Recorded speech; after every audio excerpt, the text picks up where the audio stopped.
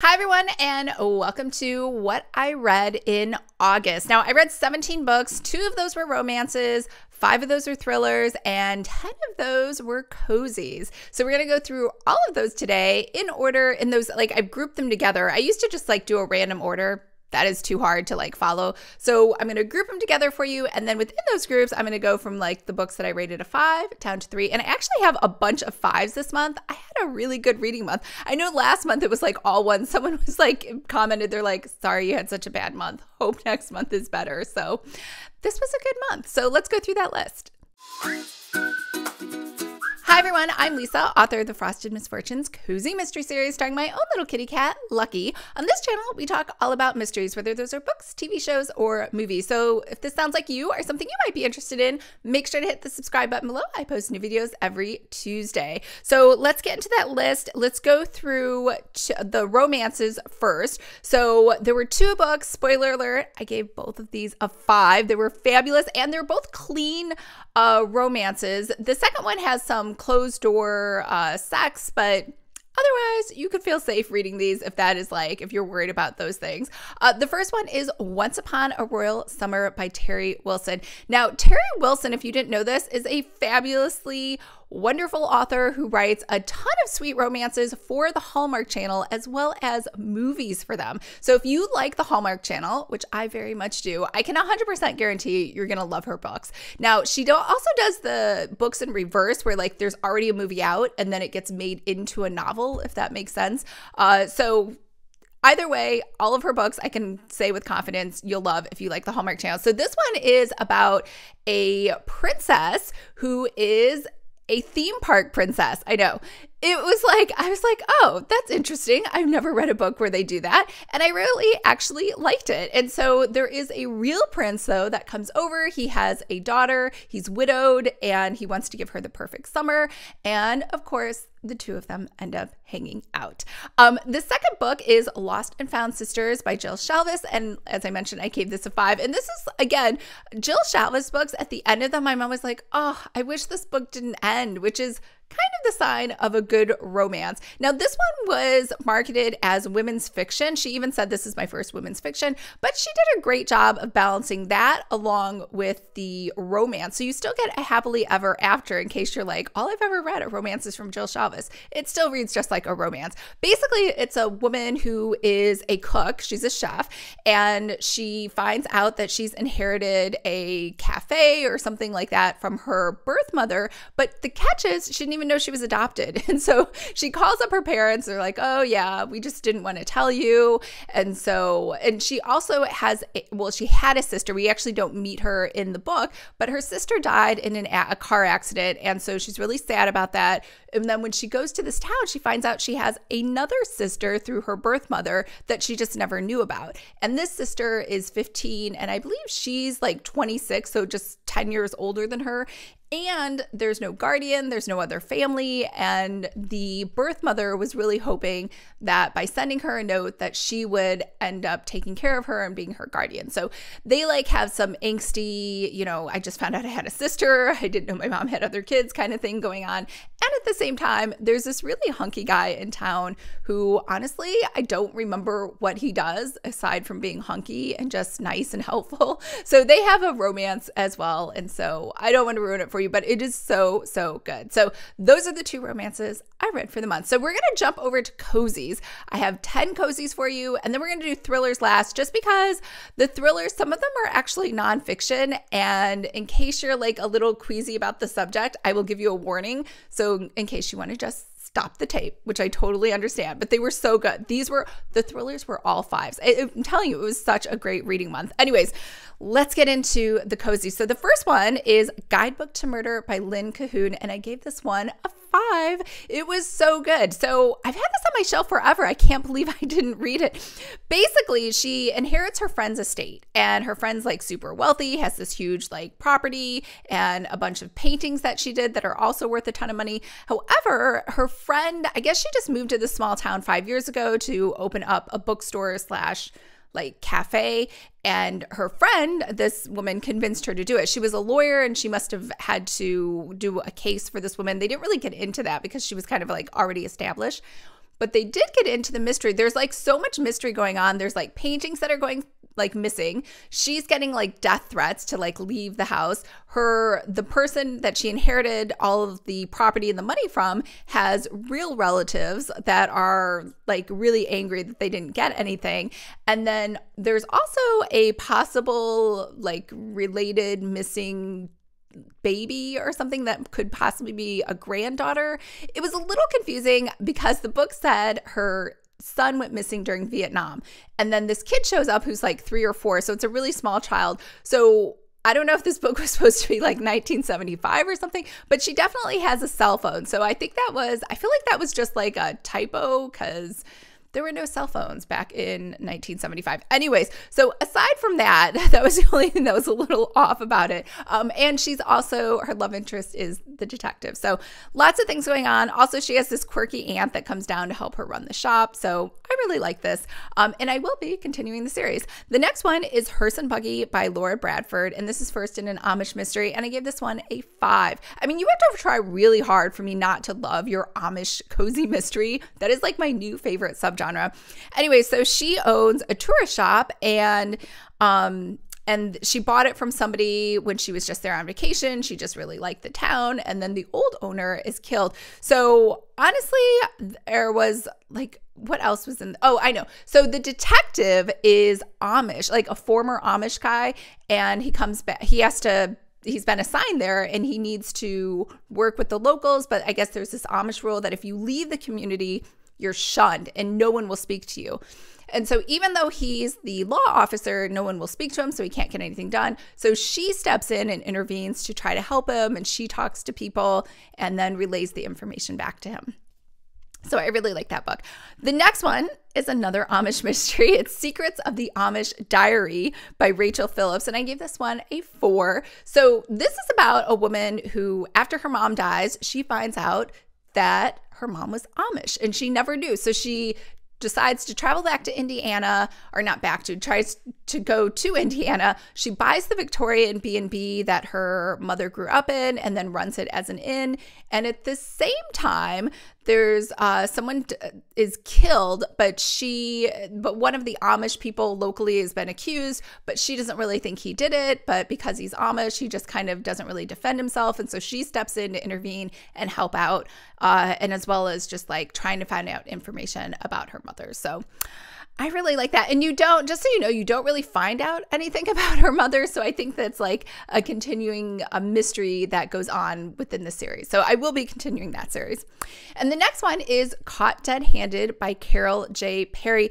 And I give this one a four. I really like this. I know some people didn't like it. I will say, uh, just trigger, like, I don't know if it's a trigger warning, just a warning in general. This does have a grittier kind of case where you only see this in hardcore thrillers where there's like sexual abuse cases that usually aren't in cozy mysteries. So I guess that's probably why I think people were like very surprised by that because it has like a cute cover. There's this adorable cat. Anyways, this woman moves back home. She's been fired from her TV news job and she's interviewing for the TV news anchor in her small town, which usually you're like, I made it in the big city. I'm going to come back to my small town. I obviously will be fine there. But she did not get the job. Instead, some other guy got the job. And then at the same time, that morning, she finds the body of the woman who runs this like murder movie marathon. Kind of like, I don't know if you're old enough to remember Elvira from the 80s. So, Elvira used to do this, I don't know what it's called, movie macabre night. I've watched those all the time.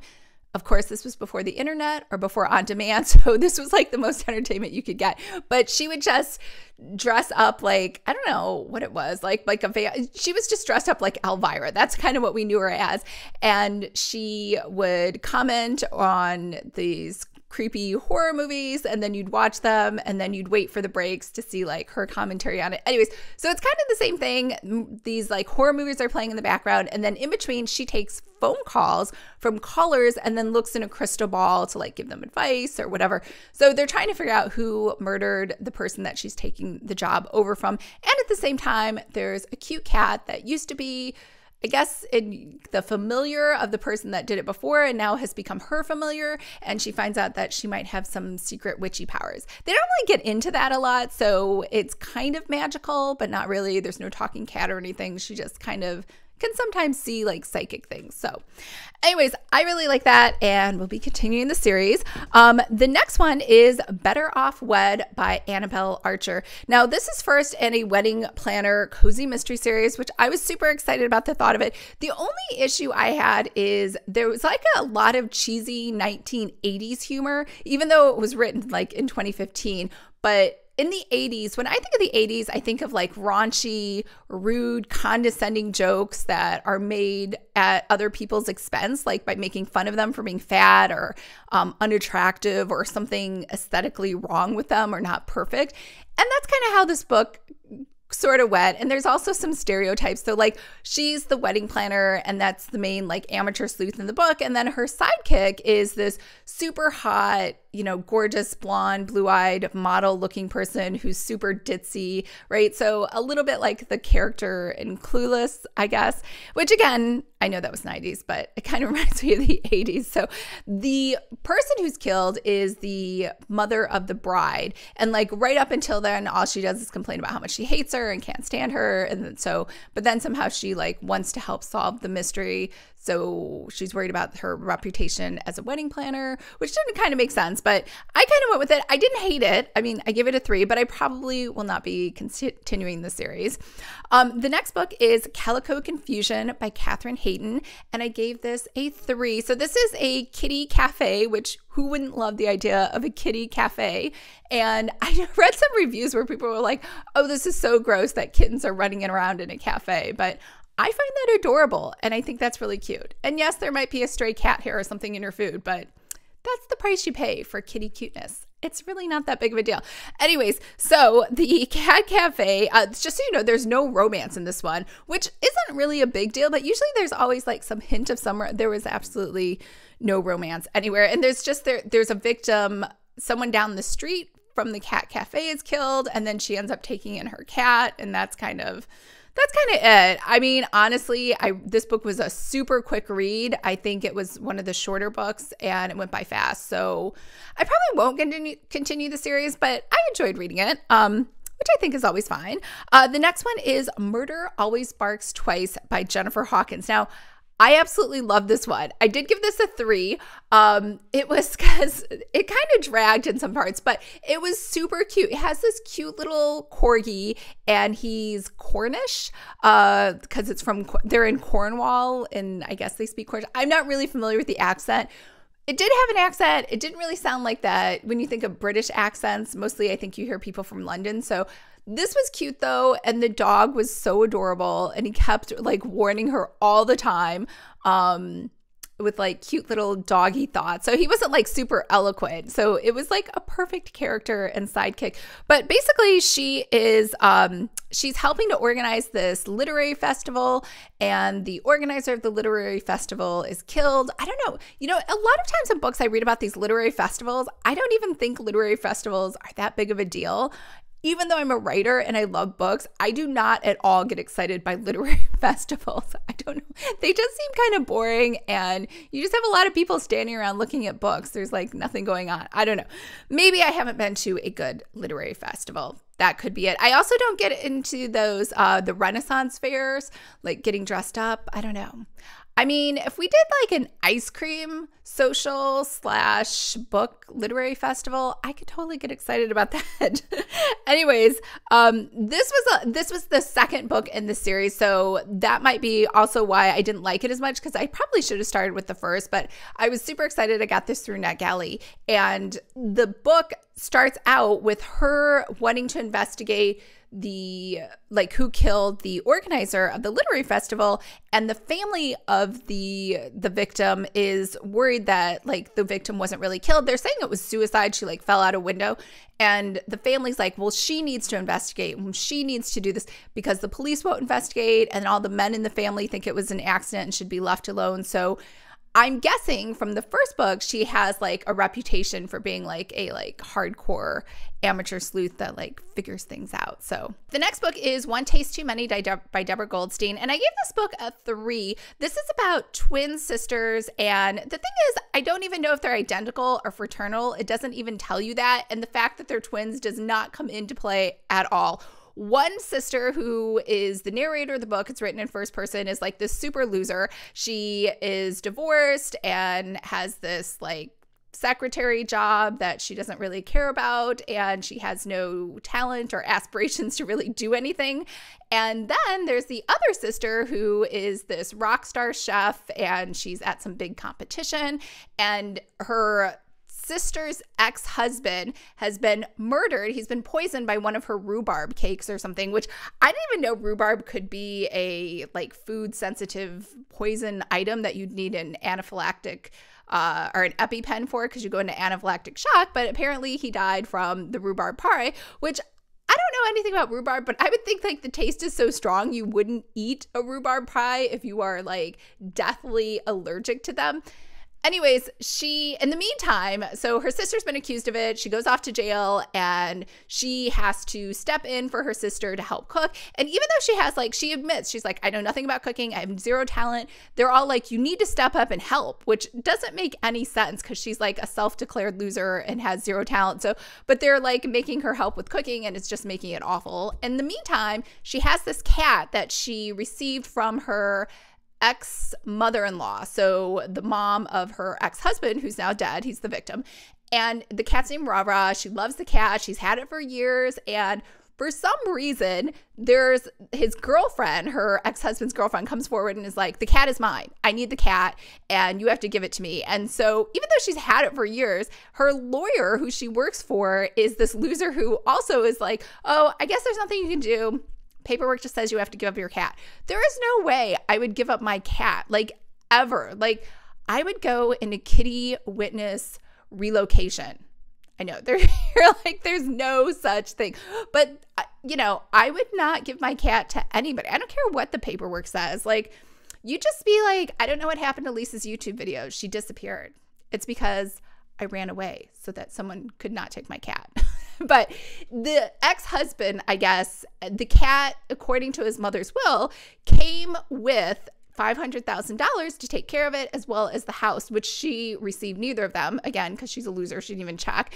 And on top of that, the girlfriend like takes the cat. Like, I would just work out a deal with her and just be like, I will keep the cat because clearly you don't like it anyway. And you take the money and the house. Like, I, this woman didn't even want the cat. So it is so bizarre. Uh, but I gave it a three because it still kept me interested because I was like, I can't, like, what happens to the cat? Anyways that was that book. Uh, the next book is Brand New Death by Victoria Hamilton. Now, this one I gave a three to, and this one again, I won't be continuing that other series.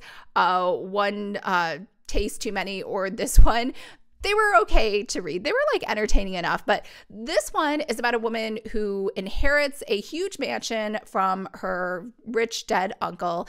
And there are families like famous in this town because it's like this huge, like plantation kind of place. And they're broke though. The family's broke, she's broke. And for some reason, her first thought when inheriting this place is to start selling muffins. Now, there is nothing wrong with selling muffins, but it kind of was like, I don't know, be an adult. Like, open up an Airbnb if you have this huge place, or make it a bed and breakfast, or I, don't know. It just seemed very bizarre to me that she wants to sell muffins. It's like the 10 year old down the street who's opening up a lemonade stand. Like, muffins are, I don't even know, $2 each, if that, and she has no place to sell them. It, anyways, on top of that, there is a bunch of holes in her backyard. Like someone has gone out there with one of those huge like cranes that dig up the earth and put big holes in there. Like I'm assuming they're that big because someone dies in one of the holes because he fell in. So I'm assuming they're like massively huge holes. And the people who are doing the digging they suspect are the brother sister who own the bakery in town. And they think that her uncle killed their father and hid the body on the estate. So that's why they keep digging up holes to look for the body. Now in the meantime to make her muffins uh, so she can make money she does not have a working stove at the mansion. So she needs to use the stove at the bakery. She doesn't even ask. She just kind of shows up and the woman's like okay you can use the stove like it, it was very odd. And then the victim who dies is actually her brother while he was out on her property uh, looking at the woman who owned the inherited the mansion she's out on her he's out on her property digging holes and he's the one that died so now she's a suspect so um yeah, I mean, it was interesting, but very just like a weird setup. So there was that book. And then the last one is Moving is Murder by Sara Rosett. And I gave this book a three. And you know, the thing is, I will not be continuing the series mostly because the main character is like a huge, like, I want to say Debbie Downer, but that's not it. She's like a complaining Kathy. I don't know if there's a phrase for that. All she did was complain and everything. Like, I hate this. I hate people. I hate moving. I hate trucks. I hate diapers. I hate parties. I like, she literally hated everyone and everything she encountered. It was super, super negative. And I don't even care. Like on the Clifton strengths, like 1 through 34, number 34 is positivity. So I don't even, it's not even that important to me, but just it did grate on my nerves how she just complained about everything. So in the description for the book, it says that they're all upset because they had accidentally relocated to Devil's Keep. So Devil's Keep is the name of the neighborhood. And two things. One, I thought maybe it was slightly paranormal. It is not. And two, I thought maybe there was something ominous or sinister about why it's called Devil's Keep. That is not it at all. The reason that she doesn't like moving into Devil's Keep is because she hates people. And all of the people that her husband is an army something or something in the military, and all of the military families also live there. So I don't know if he's like higher up or something because he's a pilot, but she kind of felt like they were above and beyond like all the people in his unit. So she was like, I hate Devil's Keep because everybody from the military is here and now they might come over and say hello. So i don't know it was very bizarre how she hated and then she hated like that she had to find a new hairdresser when she moved which i kind of feel like if you had married a military guy that's what you signed up for. You kind of know it's not like a big surprise. Anyways so she has this newborn baby. Here's one positive though. Um, there was another book I read by I think it was Reyes or something, and there was a baby in the book and this woman was like it was weird she was like pedophile obsessed with her baby like where it was creepy and weird this one she was like a newborn mom and she's a stay-at-home mom she has no job or career or anything else going on but she was like concerned about the baby, but not in a creepy way. Like it was like normal and it was okay. Uh, so the baby is like her sidekick. The baby comes here, the baby comes there. She doesn't talk to the baby or anything. It's just like, I don't know, this uh, this accessory that's just always with her. Anyways, in the neighborhood that she hates to be in and she cannot stand the people, one of the army wives is murdered. She is like a happy do gooder who's always organizing events, you know, obviously everything that this woman, the main character, hates. And so she's killed. But I think she, for some reason she was borrowing this woman's car or something like that. And so uh, I don't know. It didn't, I was a little confused about the murder part. And maybe I'd glazed over it because I was so like, I don't want to listen to anything more that she hates. But yeah, so that is why I will not be continuing that series, but it wasn't bad. I mean, two things. One, if you like murder mysteries, or not murder mysteries, army uh like families and stories like that would probably be good for you um it did put these weird quotes in there about moving now i have moved quite a bit because I've had so many corporate relocations for a new job or something like and it was like in the beginning she was like so angry again she hates moving and she hated that her stuff was in storage and she hated that you know her things were put into a moving ban in the incorrect order but the thing is if you really were because she kept giving out moving advice which didn't make sense like I've moved so much. I know that that happens. Like, you just plan for it. And it kept giving out advice, which I feel like this the main character really wouldn't be qualified to give any advice anyway because she was so surprised by like little moving things. So now I am complaining about this book and everything I hate. See, this is why I can't like read any more in this series. But yeah, so that's a wrap for all the cozies. Now I'm going to go into the thrillers. I do want to warn you though, the thrillers are half of them, I shouldn't say half of them, all of them are nonfiction, but I still call them thrillers because they were so good. They read like a Stephen King novel. These are all five books are by Richard Preston. And I give all of these a five. And Richard Preston is an expert in Ebola.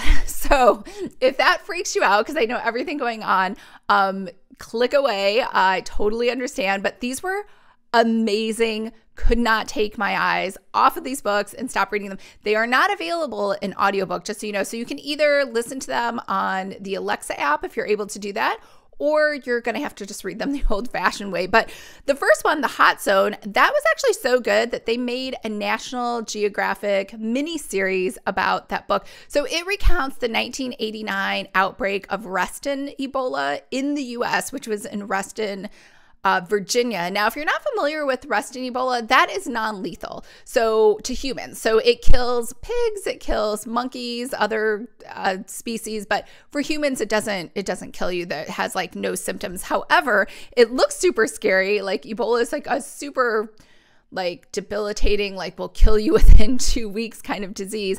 Um, and so it's just talking about how all of those monkeys came from the Philippines and then they had sourced those, I think, from Africa. And so they finally figured it out, right? Because it was like a private testing lab in Reston that had this issue. And then the army took over.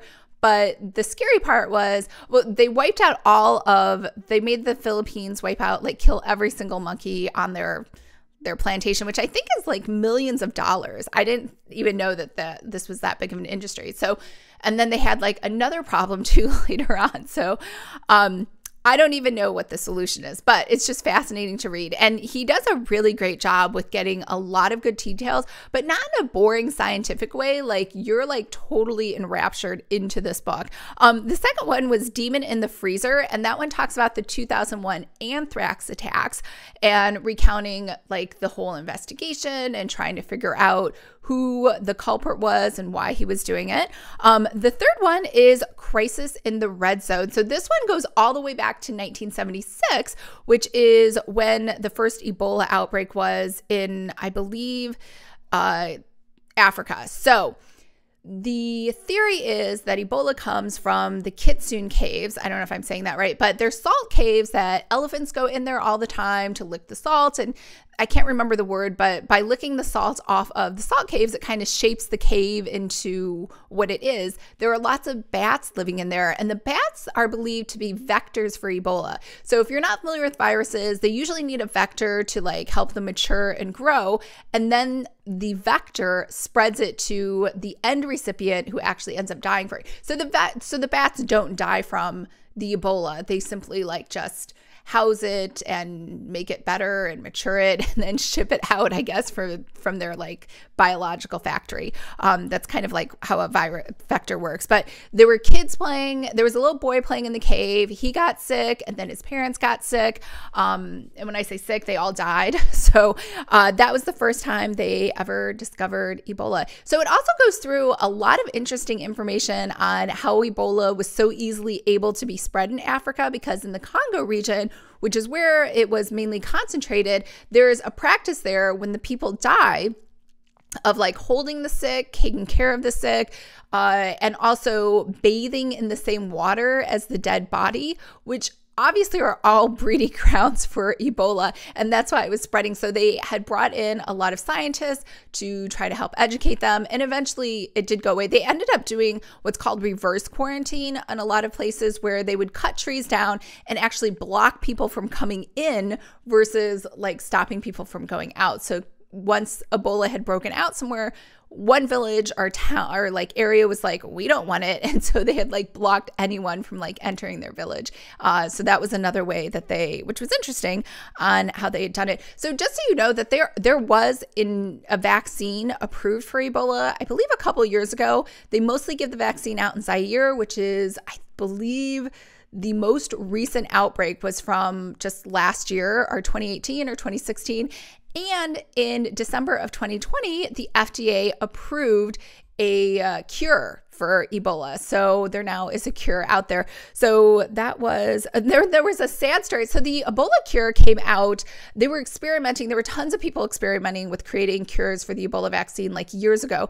And because most of the doctors that are there helping to treat Ebola in Africa are Doctors Without Borders, which has a really strict policy on not allowing special medicine to be given to anyone because of their class or their status. And so there was a doctor who came down with it. And instead of like, I guess in my mind, I think it's okay to treat the doctor because the doctor, if he's treated, can then stay there and help treat many more people. But they had decided, even though they had the cure, like literally down the hall from the doctor, they would not give it to him because they said it was politically incorrect to do so. And so he ends up dying. Um, it's very it's like a really tragic story. And then later they decide to use it on to military personnel. I believe i don't know if i'm quoting that right but they end up living and surviving even though they split the dosage which you're not supposed to uh, between the two people. So he could have lived if he had gotten even just like half of that dosage.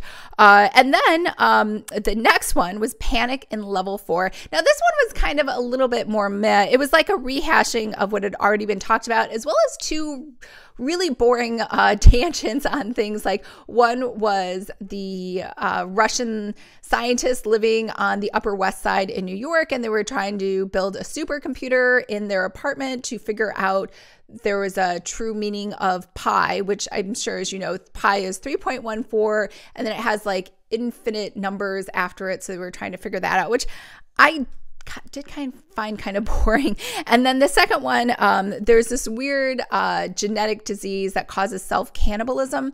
And I think the reason he talked about that is because the last book that I read was The Cobra Event. Now, The Cobra Event is fiction, and that was Excellent. So he said he wanted to make it a book that was nonfiction, but he couldn't get enough people to go on record to confirm that they were data sources or to go on record saying that they'd provided the information, which I guess you need that for a nonfiction book. So instead, he made it a fiction book where there is a an outbreak of someone combining the self cannibalism, uh, like genetic disorder, along with Ebola, and just doing a test experiment in the U.S. So, um, so that was super interesting, and I loved all five of those books. I really wish he would write more books. I mean, the first book, uh, the Hot Zone, was written years and years ago, so it's. I don't think he's like a he's writing a bunch of books. They they like come out every 7 years or something. So it's highly likely we'll see another book, but excellent, excellent series and writing. I highly recommend it. So that's a wrap for what I read in August. Like I said last month, and I really mean it this time, I am not going to read as many books in September. In fact, I am deleting social media from my phone. So no Facebook, no Instagram, no, uh, what is that other app that everyone talks on? Discord. Like I'm totally disconnecting to get some words in because I didn't get any words written for August, even though I wanted to write 80,000. And when I thought about where I spent my time, I did manage to check Facebook and Instagram every single day. Like, how sad is that? Like, so that's why also another reason we really meant it when we said we were excited about moving over to Patreon for the Cozy Escape Book Club and the Para Cozy Book Club. Everything's going to be on Patreon. There's no extra noise, there's no clutter. The only thing I'm getting are feeds from the two memberships I pay for and want information from and Cozy Escape members, which I definitely want to connect with, and nothing else from social media. So that is the plan for September. We'll see how it goes. I will report back in again next month. All right. Remember, tomorrow we are doing the VIP session for the September Cozy Escape group. I really hope you can be there. We're super excited. We have a fabulous workbook for you to help you plan out September, as well as Courtney and I are sharing everything that we did in August and all of our plans for September. And then we have 10, no, that's not true. We have 20 videos, so 10 each, 10 on my channel, 10 on Courtney's channel, starting tomorrow with a recap of all of the Cozy Escape Book Awards that were nominated to help you try to vote and pick the book that you love. So at the end, hopefully, we'll have some really great recommendations and suggestions for people. All right, I hope everyone's having a fabulous day, and I will talk to you guys tomorrow. Bye.